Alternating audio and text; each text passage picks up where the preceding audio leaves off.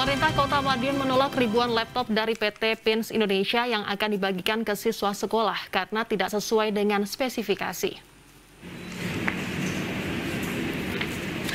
Sebanyak 4.880 laptop yang dipesan pemerintah Kota Madiun saat ini masih tersimpan di kantor Dinas Pendidikan Kota setempat.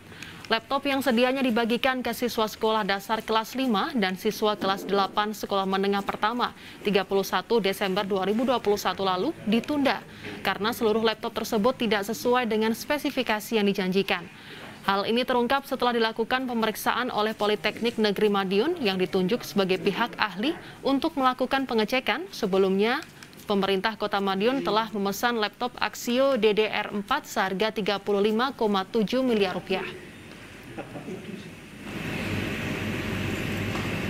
Kurang lebih jumlahnya 4.880 karena tidak sesuai spek barang sudah nyampe di Kota Madiun mohon maaf kita tolak.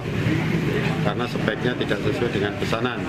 Pesanan DDR4 tapi datangnya DDR3 oleh karena itu sekali lagi saya mohon maaf ini eh, kita putus kita putus kontrak dan tidak kita terima